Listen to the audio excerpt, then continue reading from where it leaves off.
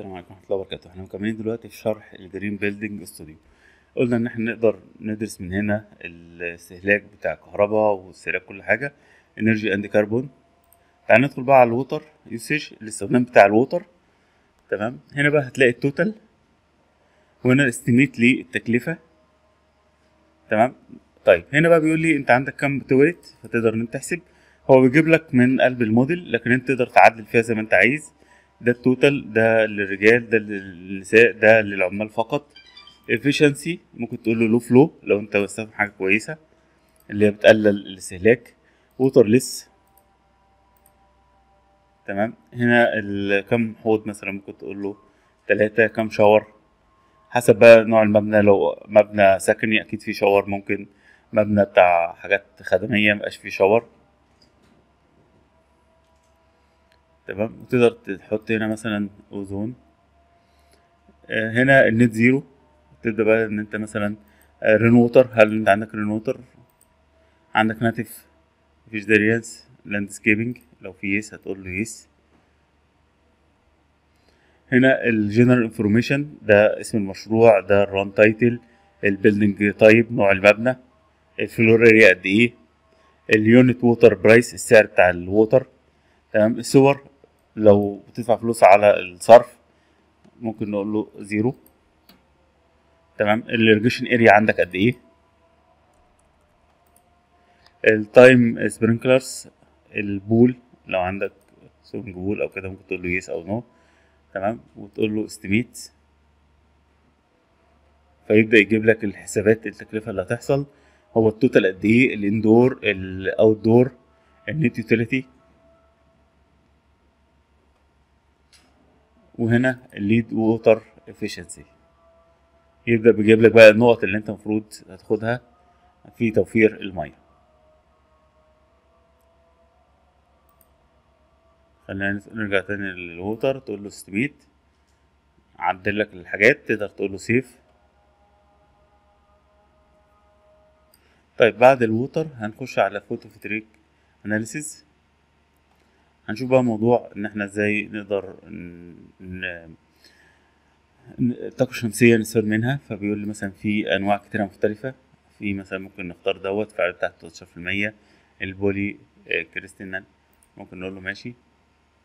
طيب التكلفة التركيب بتاعت ال cost على أساس يعرف أنت هت... هترجع الفلوس اللي هتستثمرها في خلال قد إيه.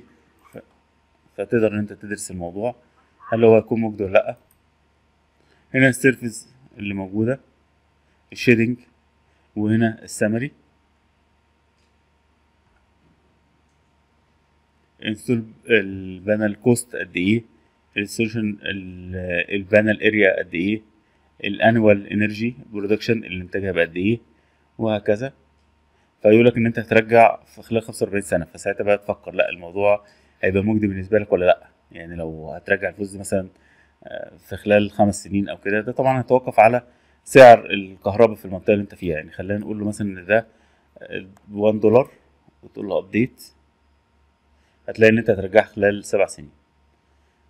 طيب ال LEED daylight بيبدأ يدرس بقى كل space ال area بتاعتها وال daylight glazing اللي موجودة وال smooth monitor فبيبدأ يقول لك glazing factor هيبقى قد إيه. في دي 3 دي في ار ام ال فيو إن أنت تقدر تشوف الموديل بتاعك 3D وتقدر تعمل select على بعض العناصر. طيب ال plugin ده عشان إن أنت تسطبه لازم تدخل هنا على download وتسطب أداة معينة تبدأ إن هي تظهر لك الموديل هنا. تعالى ندخل هنا. هيقول لك إن أنت تسطب من دي حاجة اسمها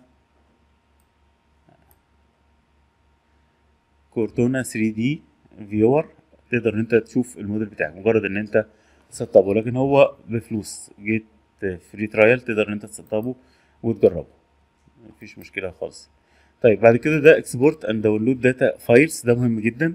ده أهم حاجة بالنسبة لنا في ال Green Building Studio عشان نكمل الشغل بتاعنا على eQUEST أو OpenStudio طب إيه الملف اللي أنا محتاجه؟ أنا محتاج الملف اللي هو DOE 2 ده هو هو حتى كاتب لك إن ده ال eQUEST لو أنت هتشتغل على TRACE 700 هتسطب دوت. طيب ممكن تيجي هنا وتقول له file save as وتسطب الملف ده أو هتيجي هنا وتقول له file save link as واقول لك هتحط الملف ده فين. تمام؟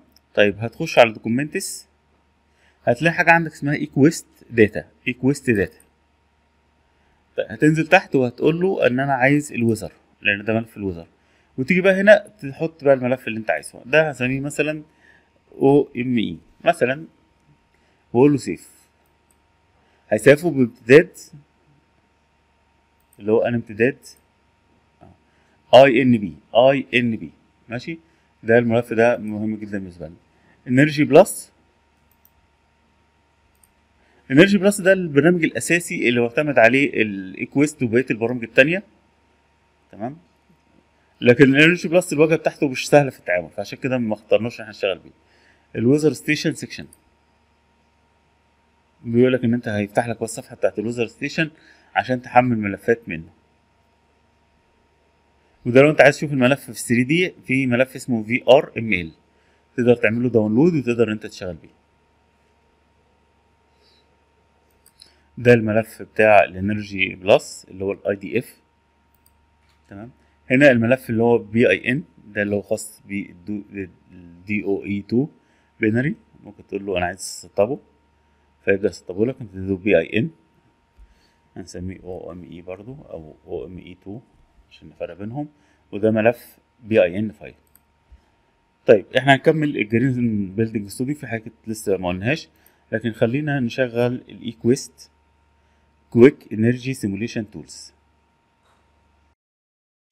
هقول له select existing project to open لأن إحنا فعلا في مشروع صدرناه من Green Studio هيبدأ يفتح الشاشة ديت ومنتظر إن أنا اديله الملف اللي هو عايزه. هقول له لأ أنا عايز اللي هو ال BDL input file ال INP هيجيب لي الملف اللي اسمه OME هقول له open خلاص هو سماه OME new project file هياخد الملف دوت.